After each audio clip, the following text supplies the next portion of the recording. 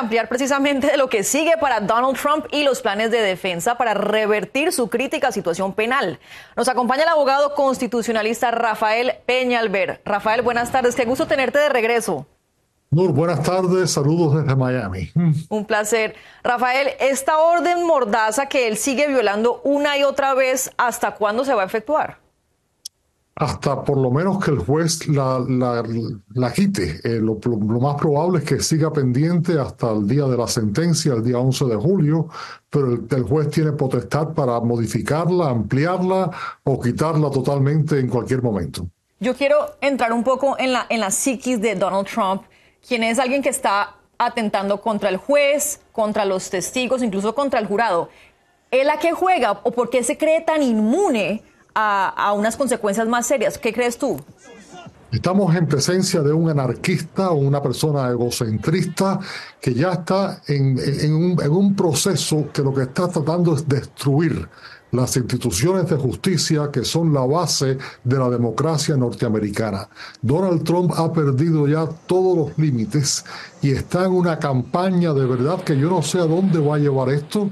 Yo no sé si el país está listo en sus, en sus situaciones políticas, instituciones políticas y judiciales para una persona así que no le importa nada ni nadie, solamente él y que tiene seguidores que se han convertido en una secta, una secta de destrucción de, este sistema que ha demorado dos, dos siglos y medio de perfeccionar el sistema norteamericano, se ve verdaderamente amenazado por una persona que está eh, sin, sin límites a donde va a llevar para destruirlo y para volver al poder. Y si vuelve a, poder, vuelve a coger el poder, más nunca lo va a soltar. Nada más que ayer recaudó 35 millones de dólares luego de su veredicto de culpabilidad. Tenemos la orden de mordaza que sigue vigente. ¿Qué otras restricciones tiene Donald Trump hasta la fecha de su condena que está para el 11 de julio? Donald Trump es una, persona muy distinta eh, hoy a la que era ayer. Ayer cuando Donald Trump entró a esa corte era un expresidente, una persona que tenía todos los derechos de un ciudadano norteamericano.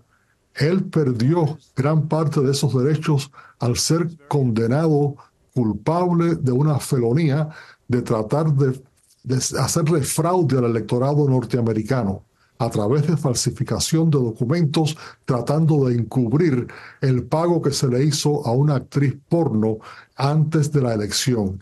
Al, haber sido condenado, ya tú eres básicamente una persona que está controlada por la corte. A él lo que le viene arriba en los próximos días es un proceso de evaluación por parte del Departamento de Prisiones y el, y el Departamento de la Corte que van a hacerle un proceso que es humillante, tienes entrevistas que te hacen preguntas de todo sobre tu vida y especialmente una persona como él que ya tiene tres sentencias, una por fraude a la Fiscalía de Nueva York, otro por eh, difamación a la señora que eh, dijo que había tenido, eh, había sido víctima de, un acoso sexual por parte de Trump y ahora esto.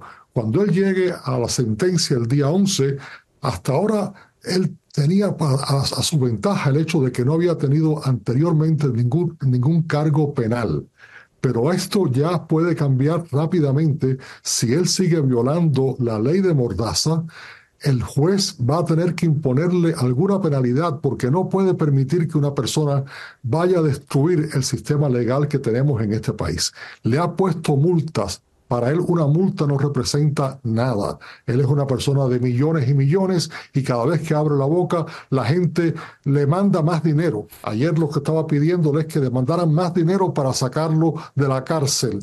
Una cosa que se está burlando de sus propios seguidores.